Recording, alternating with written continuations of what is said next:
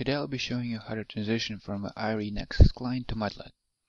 Now, before we begin, why do I want to switch to Mudlet to begin with?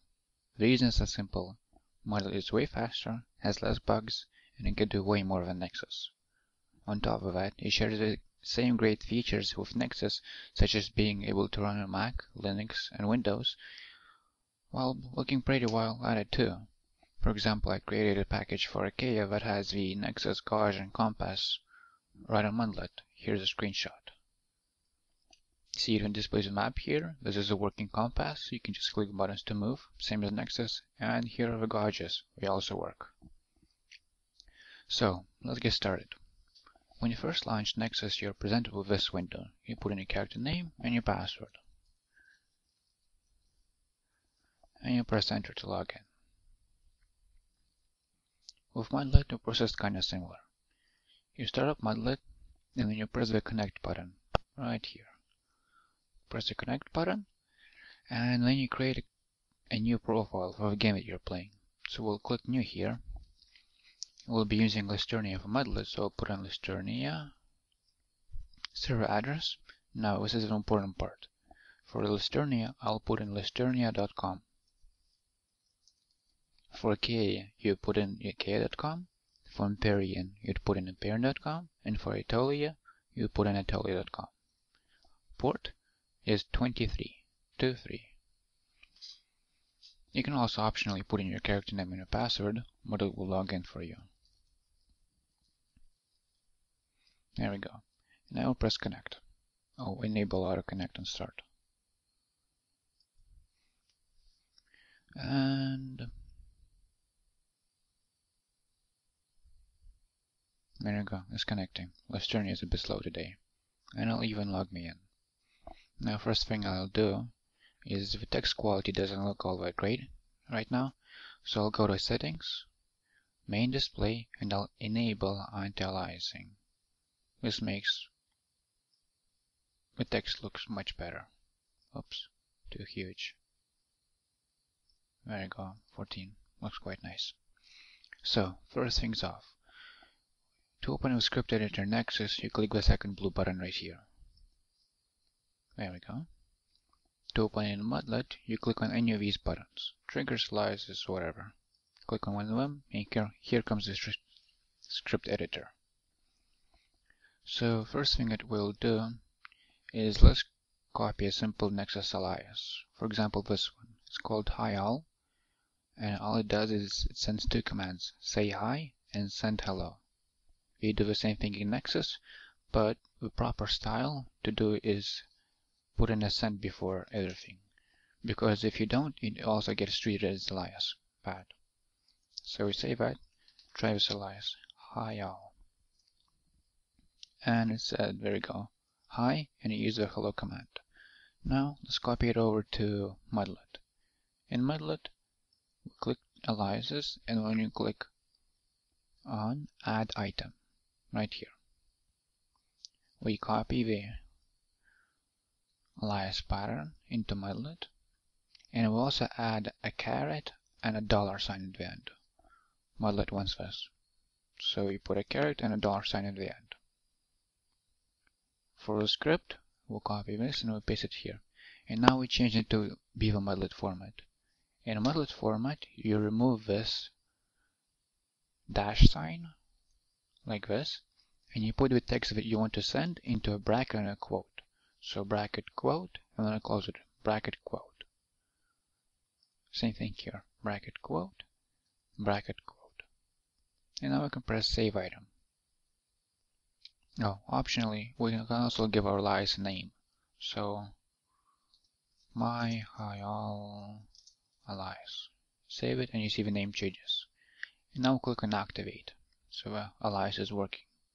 Now let's give it a try here. Hi all.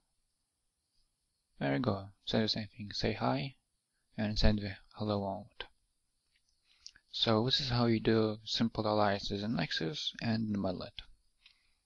Now the next one is our pack alias. What a pack alias does is it does it for set pack and then echo. As you probably know, set Nexus sets a variable to a given value, in our case variable pack you'll be given this word to remember, and echo displays it to you. The dollar sign right here means that you want to use a variable. So the variable that we set here will be displayed right here. Let's give this a try. Pack. And there you go, it told us my pack ID, pack1234. Because pack got translated into this. Now let's copy that into Nexus. I mean Mudlet, sorry. Click New Alias. My pack alias. Pattern pack. Put in the character and the dollar sign. And we copy. Now, Nexus, I mean Mudlet in this regard is simpler. To set a variable, you just do variable equal value. So pack equals pack1234. Almost. We want to put quotes around it because it's a word. So save this and echo. You do the same thing as you did with send. Echo, and then we put a quote, and we close it. Save item. Activate it. Now we're nearly there.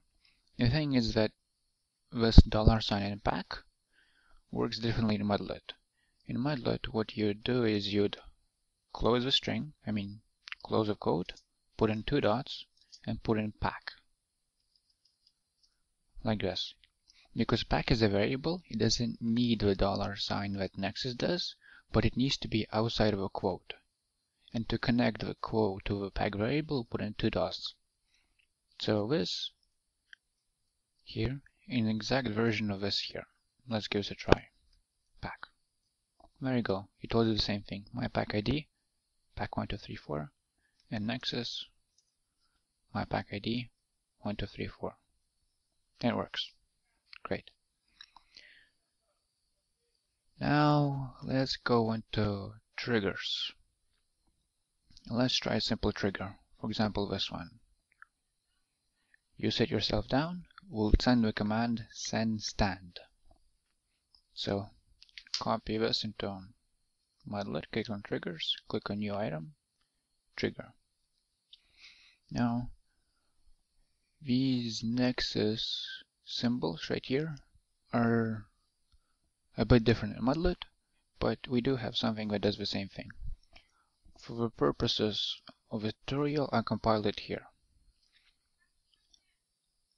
This little symbol means caret, which already in alias. We're also using triggers. And this symbol means a dollar sign. Same thing. So why don't we replace them as they should be. Replace this with a caret and this with a dollar sign. And we need to change the pattern type to Perl regex. Remember that for the future. And for the script, send stand, we do the same thing. We already know how to do this. Put stand inside a bracket and quote. Click save item and activate our trigger. Let's give it a name too. And let's try sitting down. There you go. You sit yourself down and Mudlet stood up for us right away. Now, when we do it in Nexus, you'll see that sit and stand would not see the stand command, but Mudlet by default does display it. We can fix this by putting in false at the end. Save item, sit, and now we got up and it didn't show anything. Works nice. So, what would be the next thing? Next thing is, let's try using wildcards. In Nexus, the W letter will mean that you're remembering a wildcard. And to use a wildcard in your script, use the dollar sign and one. For example, our script remembers the first words